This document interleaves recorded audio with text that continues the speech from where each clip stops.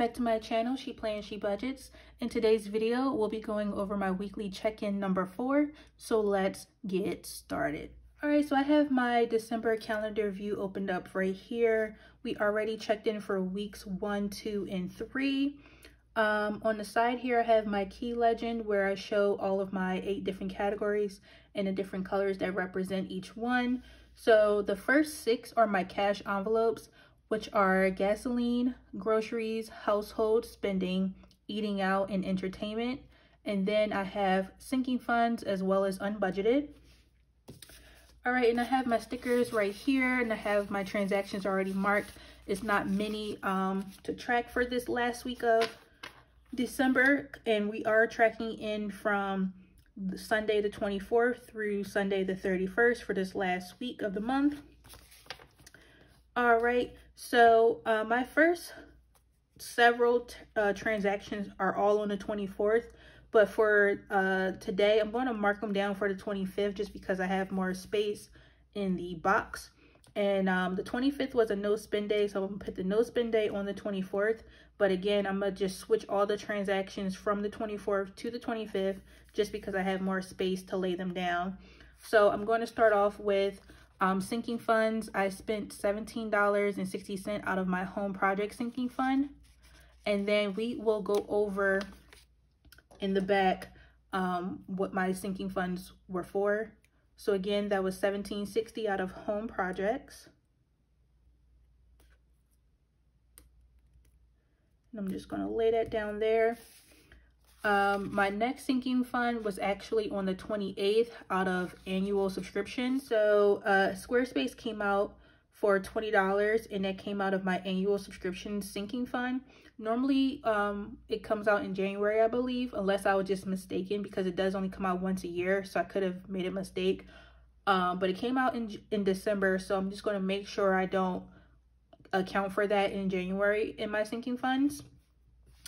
All right, so next I have um, personal spending, which I like to represent in this peach color right there. And this was for $12.31 for two different transactions. I purchased um, two debt-free charts or two trackers from um, debtfreecharts.com. And then I also got a bottle of um, wine for $9. And again, since that was technically on the 24th, I bought the wine for uh, Christmas Day because I spent Christmas with um, a couple of friends um, this year. So we had a little drinky drink. um, I did go grocery shopping on the 24th to do some last minute shopping for Christmas and just for the week. Um, and so I normally like to buy my groceries and household items at the same time. So from HEB for household, I spent $22.22. And then for groceries, I spent $257.95. So you will see that I definitely overspent for groceries this week. So we'll see how we can make that up in a budget.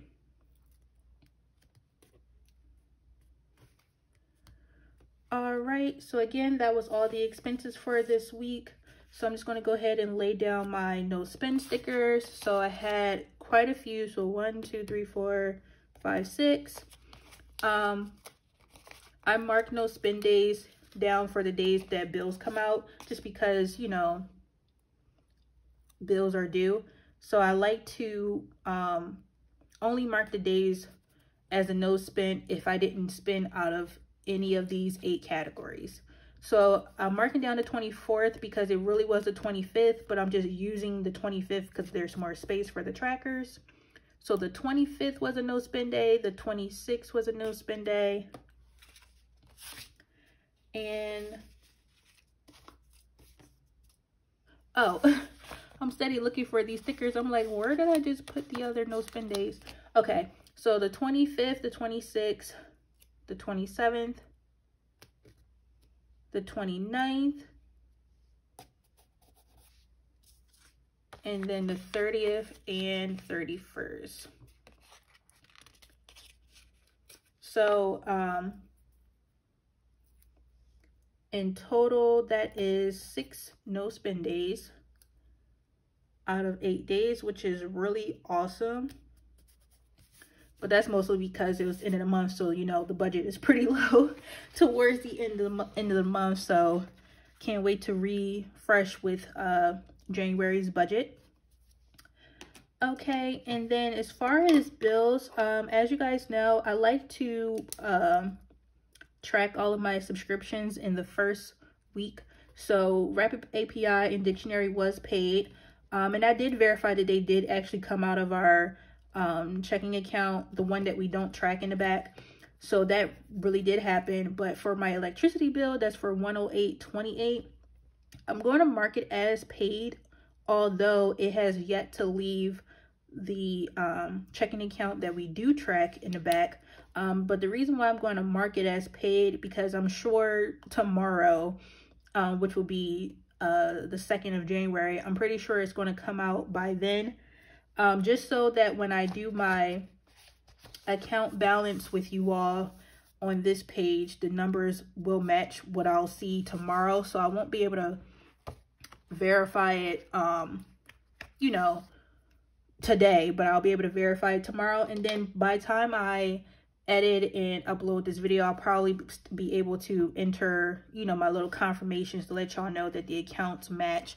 But that's the only thing about the end of the month um, is because this bill never comes out on the actual day it's due, whether it's due the 29th or whatever day. It always comes out the next day. So I guess it comes out the next business day because I checked Saturday, I checked Sunday, and today is January 1st. I checked this morning. It hasn't come out. So I guess because of the holiday, it's going to be delayed for the following business day, which will be Tuesday the 2nd. So tomorrow I'll just verify that this came out and then my uh, weekly balance will just be off for today and, it, and it'll most likely match tomorrow. Okay, but like I said, I'll put a confirmation in the video when I edit this, um, just so you all know that everything is all good. All right, so now that we got that uh, figured out, so for the next page, um, this is where I lay down all of my um, expenses for the six categories that we talked about. Again, gasoline, groceries, household spending, eating out, and entertainment. I have these X's marked here because, you know, once I realized I went over for groceries, I just X'd it out so I could stop spending from that category. Same thing for eating out. Household, I just marked it because I always buy it with groceries. So if I'm not buying groceries, I'm most likely not buying household. So I just mark those with X's so I can stop spending out of those categories.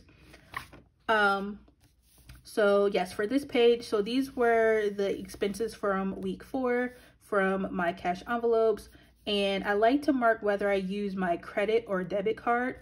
So for the debt-free charts for $3, I did use my debit card when I purchased that online.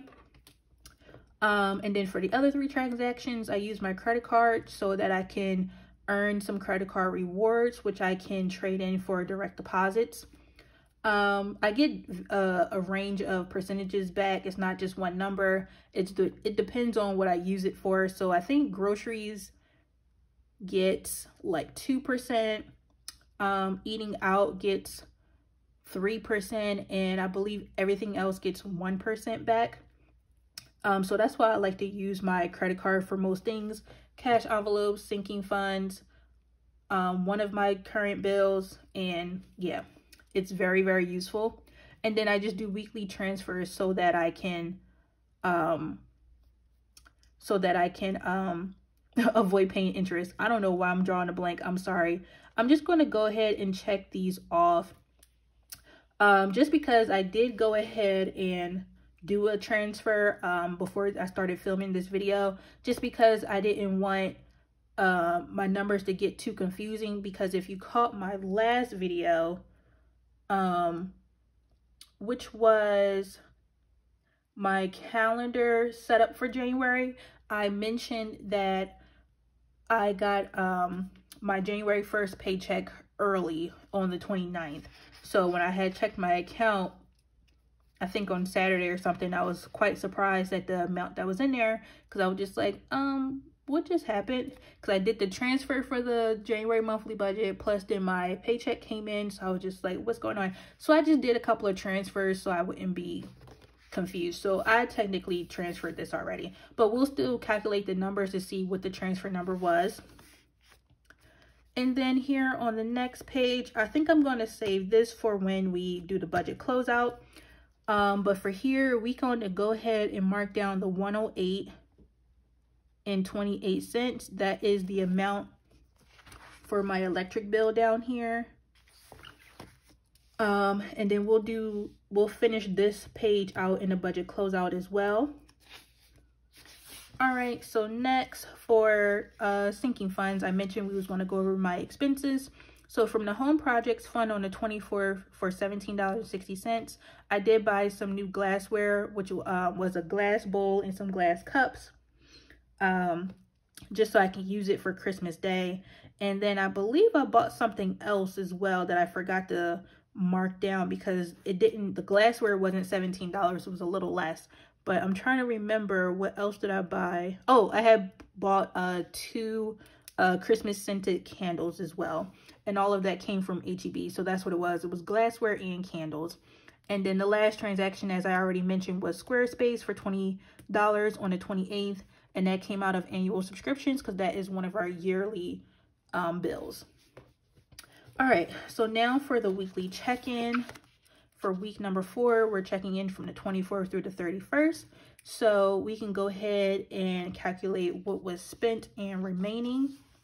So I had um, one, two, three expenses because these two are sinking funds and I don't track them on this weekly check-in page. I just keep track of it in the transaction log here on my sinking funds page.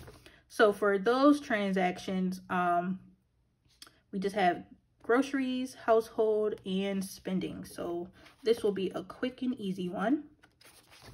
And I did want to go back to this page real quick because I just realized I didn't check off that 1760 because again, I did do a transfer before I filmed this video. Okay, so for gasoline, which is represented in red, nothing was spent. So I'm just going to cross that off. And then for groceries, I did spend 257 with 95 cents. And I normally put a minus sign, not a dollar sign. So let me just... I'm like, what's going on, girl? I feel all over the place right now.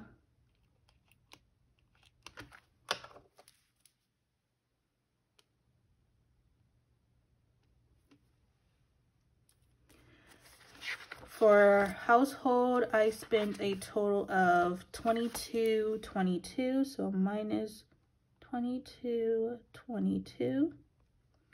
And then for spending was $12 and 31 cents. Nothing for eating out and nothing for entertainment.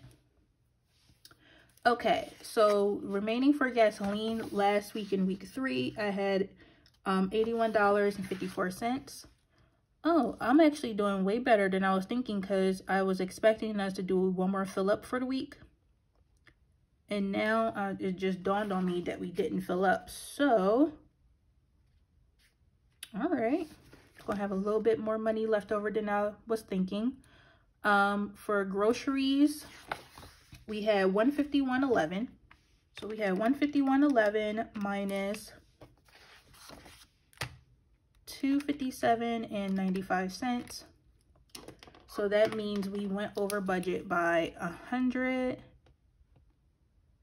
and six dollars with 84 cents. Whew. That was pretty bad. so for last week I had $51 in household, so minus 22, 22. So that means I have $28 and 78 cents. For spending, I had $22 and 96 cents, so minus 12.31 means I have $10 and 65 cents remaining. For eating out, eating out was already negative by 78 cents. And that's still true. So minus 78 cents. And then lastly for entertainment, we had $69.11 remaining. So 69.11. And I'm considering rolling that over into January. Um, because we do plan on doing a couple of things in January. Our normal monthly budget is $100, which might be enough to do to do what we plan on doing in January. But I'm thinking about rolling this over in January to, to um, give more to entertainment or I might use it for something else in the budget. I'm just going to see how it all works out. Okay, so let's go ahead and add up the total spent, which was 257, oops, 257.95 plus 22.22 plus 12.31. So that's a total of $292.48. And we can go ahead and write that number down right here on the weekly balance. Um, so I'm gonna go ahead and write minus 292 92 with 48 cents. And let me just go back for real quick. So with all with all this, because I have some red um red in the last week, what I would do is um because add up I would add up all the black numbers and then subtract the red and then whatever's left over from that is what I would be what is what I would consider left over from these uh cash envelopes. So even though I went over groceries by a lot, um I would just consider, you know, the other amounts I have in the cash envelope. So for the entire category, I would be under. So like for instance, so like you see this $81.54 plus the 28.78 from household, the 1065 from spending, and the 6911 from entertainment. So all of that is still $190 with 8 cents. So that can cover the 78 cents I went over in eating out and the 106.84 that I went over in um, groceries. So that will leave me with a positive $82.46 in my cash envelope. So that is still considered good. I didn't go over my original budget of 1550 and that's what we budgeted in the beginning of the month of December. So 1550 so that means I'm still under by $82. So that's how I work out the red um, in this case. All right, so now that we totaled that up and added it here, so as you can see here in week four, for cash envelopes, I started with $374.94 for the um, week. And we should get that same number. So 374.94 minus the 292 the 292 and 48 cents spent for the week, $82.46. So that is what's remaining in my cash envelopes for the week or at the end of the month. Okay, so next is bills, and as we already discussed, my only bill was the electricity bill because these uh, subscriptions right here was taken care of in week one, so it's included in that um, $2,400 amount. So electricity is 108.28. So um, although it didn't come out yet, I'm going to just mark it here because when my account do balance tomorrow, I want the numbers to match. So um, 108, 28 plus, um, and the reason why I'm adding something because if you recall from my previously previous weekly check-ins, I said I wanted to save this unbudgeted expense for the end of the month. And luckily it was the only one I had for the month. So I'm gonna do plus 28, 65 because I do want to pay that off um, out of the bill money just because it's um it has some extra funds in it.